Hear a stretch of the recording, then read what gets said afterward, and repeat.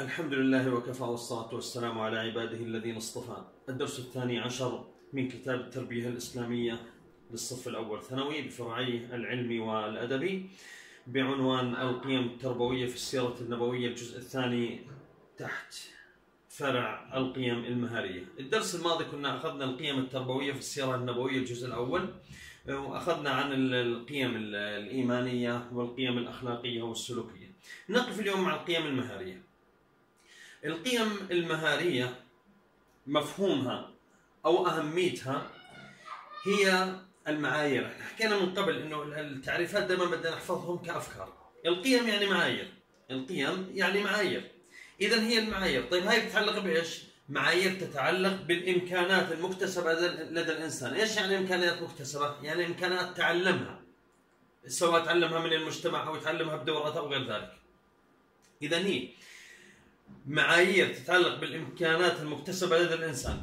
إيش بتساعده على إيش أو إيش فائدتها؟ إذا تساعده على تسهيل سبل حياته. تسهيل الحياة. التكيف مع المجتمع كيف يتعامل معه مهارة التواصل وكذا. تكوين علاقة إيجابية مع الآخرين. تسيير سبل الحياة كالتعلم. التواصل القيادة الحوار وغيرها. إذا هذا هو تعريف القيم المهارية أو أهمية القيم المهارية. وكذلك من قبل لو مثلا في سؤال قال لك بين أهمية القيم المها... القيم الإيمانية أهمية القيم الأخلاقية والسلوكية بكتب لهم التعريف. طيب اعتنى الإسلام أو اعتنى النبي صلى الله عليه وسلم بالقيم المهارية. خلينا نشوف كيف اعتنى لأنه إحنا نتكلم عن القيم المهارية في السيرة النبوية بدنا نشوف كيف اعتنى النبي صلى الله عليه وسلم بالقيم المهارية. وضح هذه مظاهر اعتناء النبي صلى الله عليه وسلم بالقيم المهارية. المظهر الأول إنه النبي صلى الله عليه وسلم كان حريص على اكتشاف مهارات الصحابة وتنميتها وإتقانها وحسن توظيفها. إذا هذا كان النبي صلى النبي صلى الله عليه وسلم يمر بهذه الأمور الثلاث، إنه أول شيء يكتشف المهارة الموجودة عند الصحابي، الأمر الثاني ينميها، الأمر الثالث يحسن توظيفها صلى الله عليه وسلم. وخلينا نشوف أمثلة، هنالك أمثلة واقعية من حياة الصحابة مع النبي صلى الله عليه وسلم، مثلا المثال الأول. أرسل النبي صلى الله عليه وسلم معاذ بن جبل وأبا موسى الأشعري رضي الله عنهما قاضيين على اليمن. كل واحد على جهة من اليمنين. ليش؟ هذا سؤال وزاري كان ليه؟ لمعرفته بمهارتهما في القضاء. النبي صلى الله عليه وسلم اكتشف مهارة القضاء عند معاذ بن جبل وعند أبي موسى الأشعري. إيش عمل فيها؟ نماها. بعدين أتقنها ووظفها صلى الله عليه وسلم. وظفها كيف؟ إنه أرسلهم يمارسوا هذه الهواية الموجوده عندهم وهذه المهارة اللي موجودة عندهم آه مثال ثاني. النبي صلى الله عليه وسلم أرسل مصعب بن عمير إلى المدينة لنشر الإسلام. مع إنهم هذول كلهم ترى شباب صغار يعني مش مش شيء كبير ولا ختايرة. هم شباب صغار. مصعب بن عمير أرسل النبي صلى الله عليه وسلم إلى المدينة لنشر الإسلام. أيضا سؤال وزاري علل ذلك لمعرفته بمهارته في إقناع الناس بالحجة وبالفعل يعني كان مصعب بن عمير له شواهد كثيرة جدا في إقناع مع إنه شاب صغير في إقناع سادات المدينة المنورة حتى بعد سنة. رجع رجع مصعب بن عمير للنبي صلى الله عليه وسلم وقال له يا رسول الله ما تركت بيت ولا منزل في المدينة إلا دخل فيه الإسلام. فكان جهز أرض الهجرة للنبي صلى الله عليه وسلم. طيب مثال ثالث. حسان بن ثابت حسان بن ثابت عنده مهارة الشعر استثمرها النبي صلى الله عليه وسلم في خدمة الإسلام صار النبي صلى الله عليه وسلم يطلب منه أنه أكتب أشعار وإلقيها تتكلم عن الكفار كيف إنهم كيف إنهم ضعاف وكيف إنه إحنا أقوياء وكذا وإلى آخره حتى يدب الرعب في قلوبهم. المثال الثالث الرابع مثلا زيد بن ثابت، زيد بن ثابت النبي صلى الله عليه وسلم عرف عنده مهارة إيش؟ اللغة. مهارة اللغة أنه بيحب بيهتم باللغات الأخرى. فطلب منه النبي صلى الله عليه وسلم أنه يتعلم السريانية. هاي النبي صلى الله عليه وسلم الآن عرف مهارته نماها وظفها استثمرها صلى الله عليه وسلم. أنه يتعلم السريانية. ليش؟ حتى يترجم للنبي صلى الله عليه وسلم ما يأتيه من كتب بهذه اللغة، وللعلم إنه معاذ إنه إنه زيد بن ثابت لما وداه النبي صلى الله عليه وسلم يتعلم هاي اللغة اللغة السريانية يتعلم معاها كمان لغتين كله في غضون 15 يوم.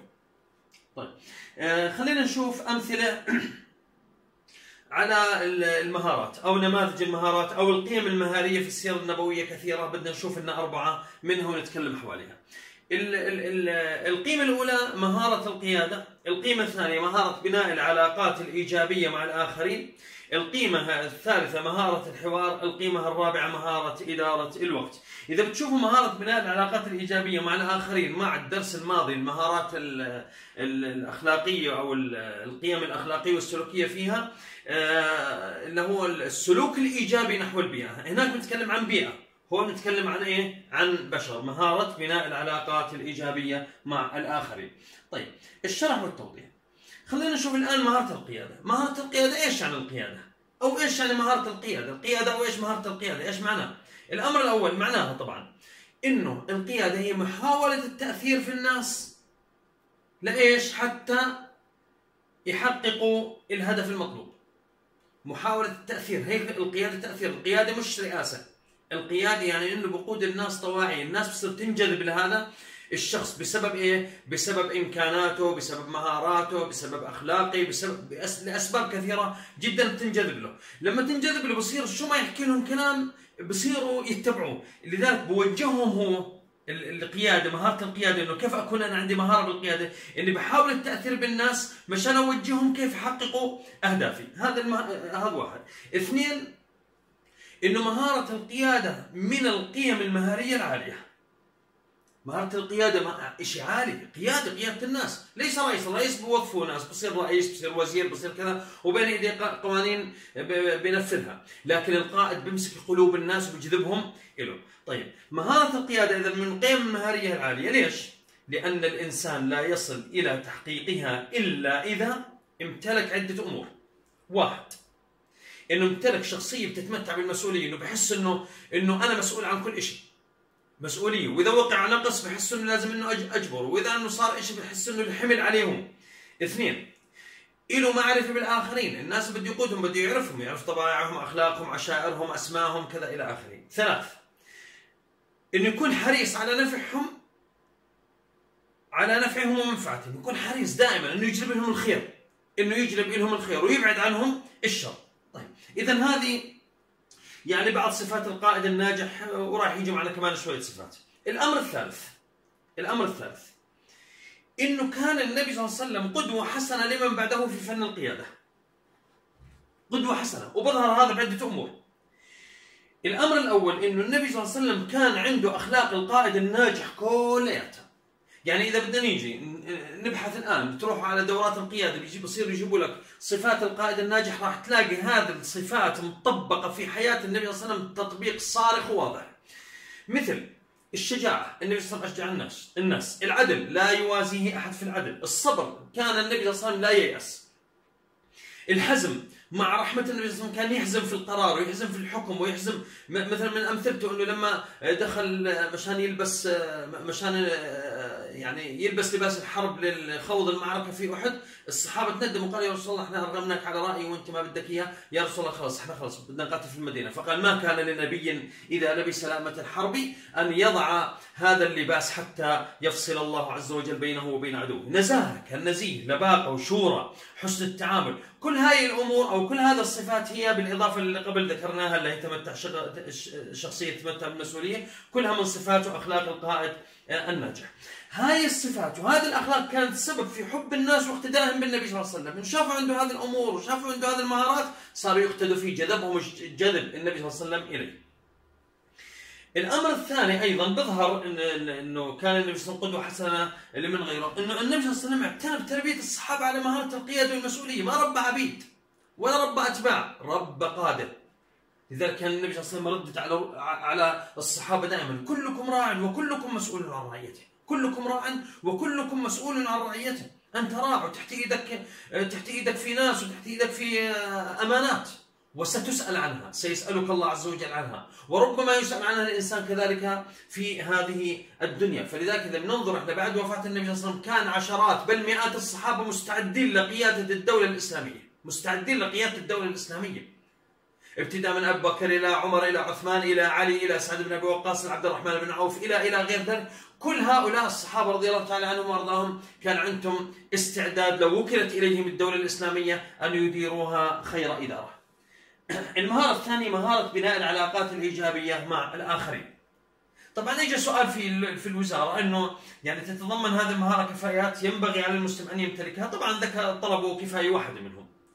اذا واحد إنه تتضمن هذه المهارة لو قال لك مهارة بناء العلاقات الإيجابية مع الآخرين إيش بتتضمن الكفايات؟ بقول واحد القدرة على فهم الآخرين ومنطلقاتهم بفهمه بفهم منطلقه بفهم هدفه بلمحها بلقطها بالإشارة. هذا هو القائد. اثنين حسن التعامل كمان معهم. حسن التعامل سواء انه عرف إنه أهدافهم نبيلة أو أهدافهم خبيثة يحسن ويتقن التعامل معهم. اثنين أو باء في السيرة النبوية توجيهات كثيرة لحسن التعامل مع الناس. لأن هذا صفات قيادية حسن التعامل مع الناس. من ذلك مثلا طلب كمان سؤال وزاري إنه يذكر أمر واحد على بناء العلاقة الايجابيه مع الاخرين مثل واحد. حث النبي صلى الله عليه وسلم الناس على نشر السلام بينهم. السلام بيجذب المحبه والقائد المفترض أن يكون محبوب. لذلك يقول النبي صلى الله عليه وسلم لا تدخلون الجنة حتى تؤمنوا ولا تؤمنوا حتى تحابوا أولا أدلكم على شيء إذا فعلتموه تحاببتم. أفشوا السلام بينكم.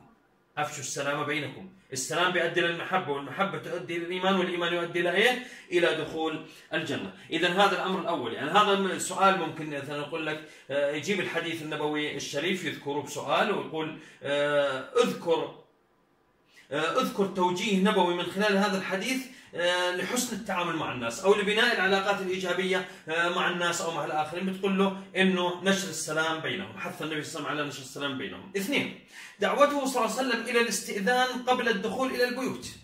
هذا أيضا بنشر بخلي الإنسان يكون بتح...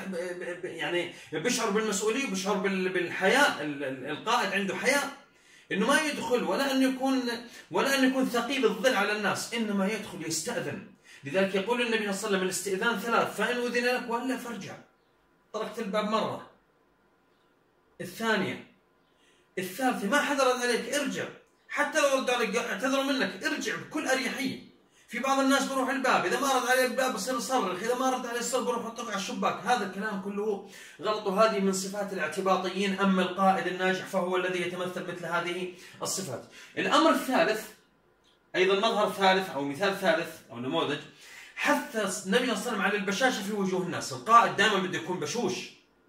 البشاشة في وجوه الناس. لذلك النبي صلى الله عليه وسلم قال تبسمك في وجه أخيك لك صدقة. التبسمة بخلي الناس تحبك. والكشرة بتخلي الناس تكرهك. لذلك مستحيل يكون إنسان والله كشر وقائد.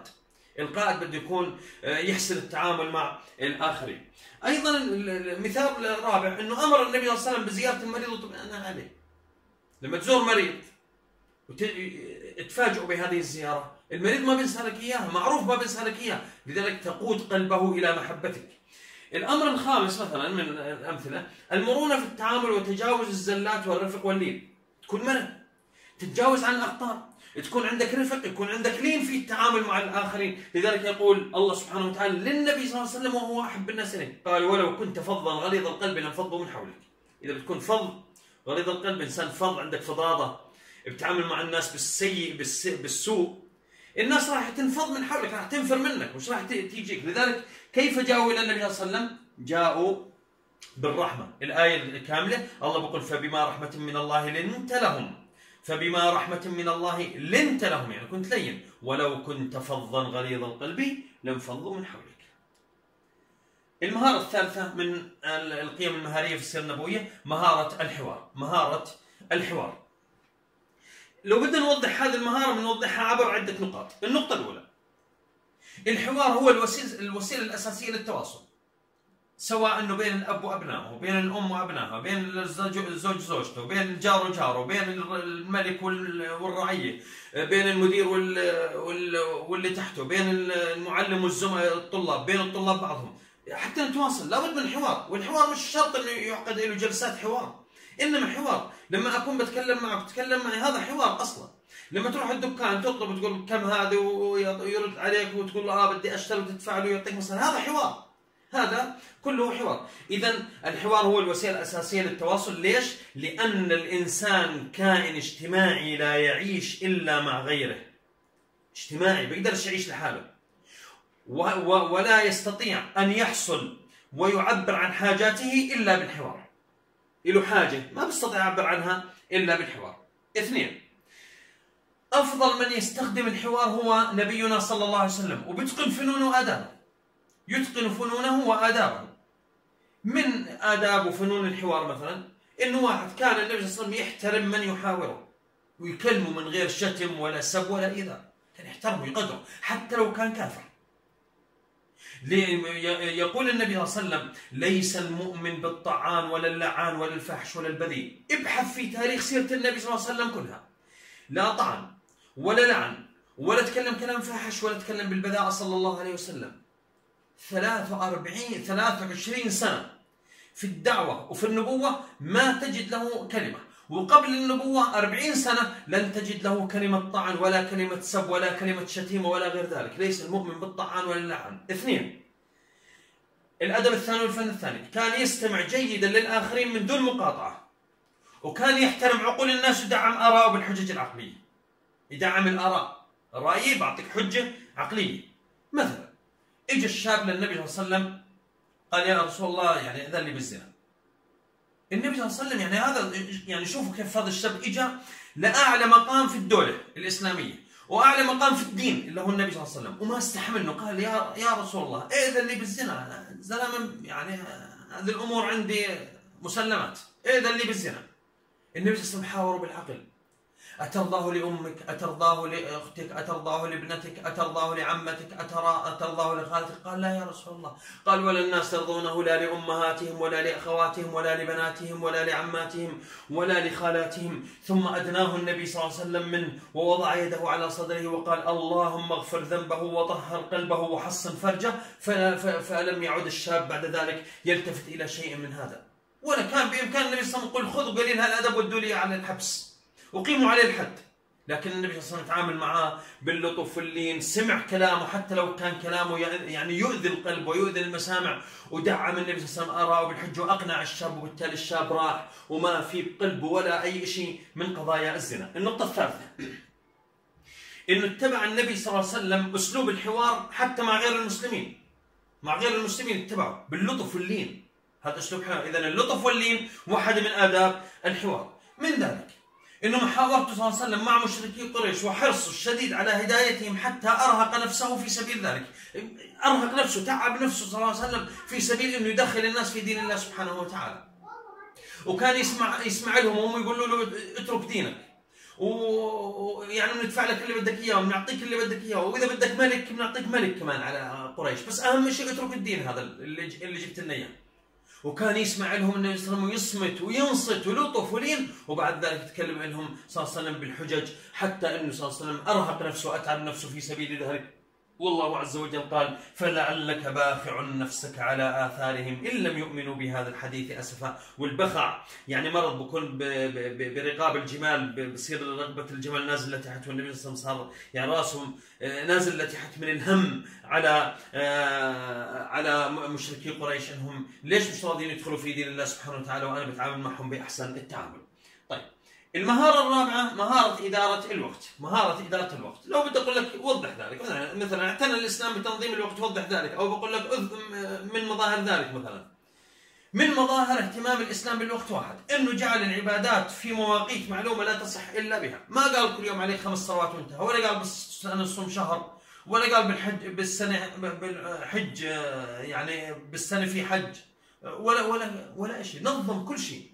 قال لك صلوات. إن الصلاة كانت على المؤمنين كتابا موقوتا. كتب عليكم الصيام كما كتب شهر رمضان الذي أنزل فيه. تمام؟ الحج أو التاسع من ذي الحجة كل الناس تدخل على جبل عرفات. إذا نظم جعل العبادات في مواقيت معلومة لا تصح إلا بها. هذا اهتمام الإسلام بالوقت. اثنين اعتبر الإسلام اعتبر الإسلام الوقت امانه يسأل عنها الإنسان يوم القيامة. يقول النبي صلى الله عليه وسلم لن تزول قدم عبد يوم القيامة حتى يسأل عن أربع وذكر منها. قال وعن شبابه فيما أفناه. وعن شبابه وقت وقت. وعن عمر عفوا أو, أو عفوا. وعن عمره فيما أفناه. وقت العمر هذا الوقت. وين أفنيته وين راح؟ الأمر الثالث مظهر ثالث.